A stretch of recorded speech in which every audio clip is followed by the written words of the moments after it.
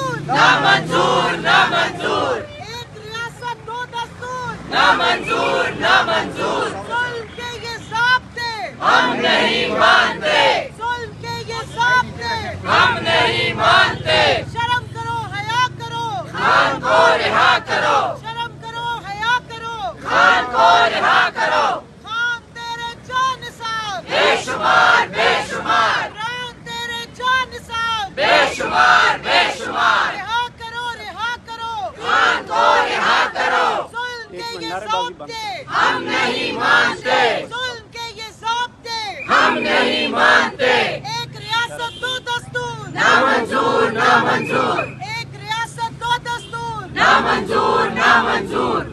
जी शरयार फरीदी साहब, बताइएगा कि आज इस्लामाबाद हाई कोर्ट में दो बड़े आम केस थे आपके। एक बाबर सितार में तोहिन अदालत का और दूसरा तारिक महबूद जंगीरी की अदालत में दोनों केसेस जो हैं, वो एक मरतबा फिर, जो है, कमिश्नर को तलब किया है। दूसरे केस में दोबारा जो है उन्होंने मौका मांगा है। नून लीग के कैंडिडेट बजैरन भाग रहे थे। क्या समझते हैं कि कैसे कैसे जाएँगे आप ये फैसले आगे? बसमीम सबसे पहले आपका शुक्रिया। तमाम तारीफ़ रब की और अरब दरूद इमामबिया ख़ातिमनबीन हज़रत मोहम्मद मुस्तफ़ा सल्लल्लाहु अलैहि वसल्लम पे।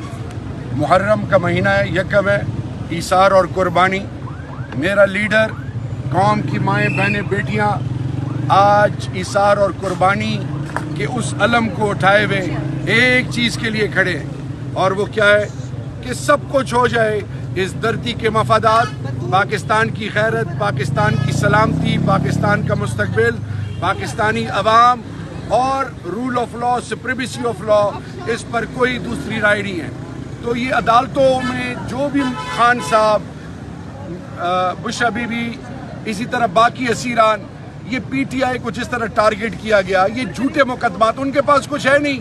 यहाँ भी एडजमेंट मांग रहे हैं, वहाँ पे भी भाग रहे हैं। कब तक भागेंगे?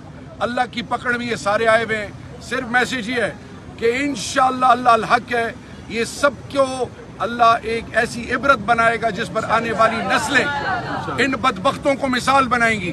और और ये याद रखें ये मेरी माएँ बहनें बेटियाँ वो तमाम लोग पाकिस्तानी कौम इस वक्त 90 परसेंट इमरान खान के साथ कौम के दिल धड़क रहे हैं। एक ऑब्जेक्टिव है कि पाकिस्तान किसी के इशारों पे नहीं चलेगा। पाकिस्तान एक खुद मुख्तार रियासत है और इस मुल्क का एक ही लीडर है जिसका नाम है इमरान खान। रिहा